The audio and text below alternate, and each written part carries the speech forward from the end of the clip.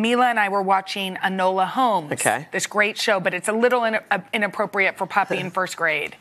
And we were in bed watching it. I'd already put Poppy to bed, and Poppy ran in and said, Why would you do this? Why does she get to watch it?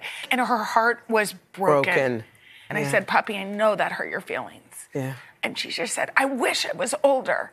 Why did I have to be the baby sister? Why Uh, can't yeah, I ever get the love? Why can't I ever be seen? How do moms do it all? How do they give everyone the attention they need? Yes, you know, Hope's has has been, you know, hasn't been feeling great, and all the attention's on on Hope, and Haley wonders too, like, I'm here, Yeah. here I am, see me. I need something to carry me. Do what you're doing for Hope. I feel like that there is a lot of that. How do we do it? Do y'all? I mean, this is not like the Twitter poll. Do you like mashed potatoes? it's like, how do you make everybody feel seen?